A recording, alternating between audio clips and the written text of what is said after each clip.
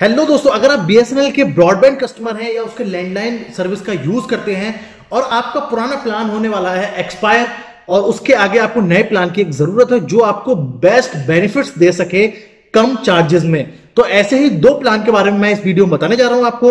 तो जुड़े रहिए मेरे चैनल साथ, देखते रहिए वीडियो लास्ट तक। मैं हूँ अशफाक और आप देखना शुरू कर चुके हैं टेक्निकल चार्जर तो दोस्तों, जैसे कि मैंने वीडियो की शुरुआत में आपको बताया था कि मैं इस वीडियो में बीएसएनएल के दो ब्रॉडबैंड प्लान्स के बारे में बताने वाला हूँ, जिसको आप इंडिया में किसी भी स्टेट में, किसी भी सर्किल में यूज़ कर सकते हैं। ये प्लान आपको लैंडलाइन के साथ में अलग से बेनिफिट देंगे अनलिमिटेड किसी भी नेटवर्क पे कॉलिंग का लैंडलाइन कनेक्शन के साथ में। अब ब्रॉडबैंड के ये दो प्लान आपको बेस्ट इसलिए भी साबित हो सकते हैं क्योंकि इसकी वैलिडिटी जो पीरियड है, वो भी ज़्यादा है। छह महीने का है, दोनों प्लान्स का। कॉस्टिंग के हिसाब से और जो उसमें बेनिफिट्स हैं, उसमें कुछ चेंजेस किए गए हैं। दोनों प्लान का अमाउंट आपको बता देता हूँ। एक है दो सौ निन्यानवे रुपए का प्लान दूसरा है चार सौ इक्यानवे रुपए का प्लान सबसे पहले हम बात कर लेते हैं दो सौ निन्यानवे रुपए के ब्रॉडबैंड प्लान के बारे में।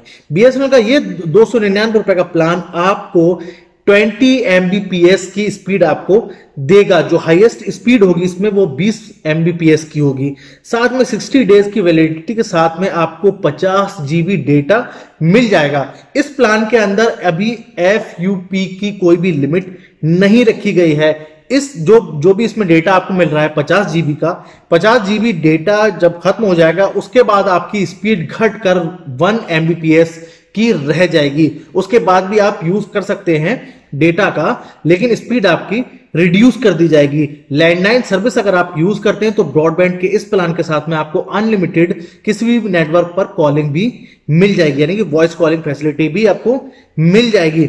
अब बात करते हैं हम दूसरे प्लान के बारे में, जो है चार सौ इक्यानवे रुपए का, यानी कि four hundred ninety one rupees का प्लान ब्रॉडबैंड का बीएसएनएल की तरफ़ से यह भी आपको हर सर्किल में मिल जाएगा। इसका आप यूज़ कर सकते हैं। इसमें भी आपको 50 एमबीपीएस की स्पीड मिलेगी, जो हाइएस्ट स्पीड होगी।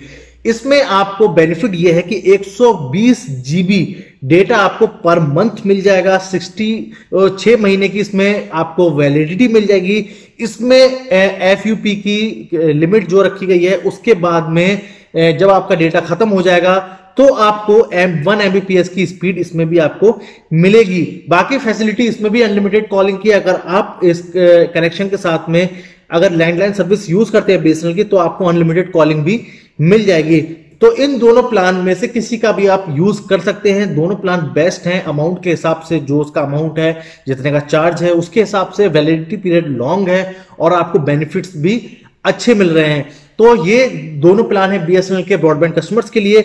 इसके अलावा और भी कोई प्लान बीएसएनएल नया लॉन्च करेगा या और भी कंपनियों के कोई बेस्ट प्लान होंगे, वो भी आपको अगले आने वाली वीडियो में देखने को मिल जाएँगे। तो वीडियो कैसे लगे कमेंट्स बहुत बताना। बिल्कुल भूलिएगा वीडियो को लाइक कीजिए शेयर कीजिए लाइक कीजिए अपने फ्रेंड्स को और जाते थे कल चैनल को सब्सक्राइब वगैरह भी, भी नहीं किया है। और घंटी का बटन ज़रूर दबा दिए ताकि अगले आने वाली वीडियो नोटिफिकेशन आपको मिल सके। तब तक अपने ख्याल रखिए जुड़े रहिए मेरे चैनल के साथ हिंदुस्तान जिंदाबाद।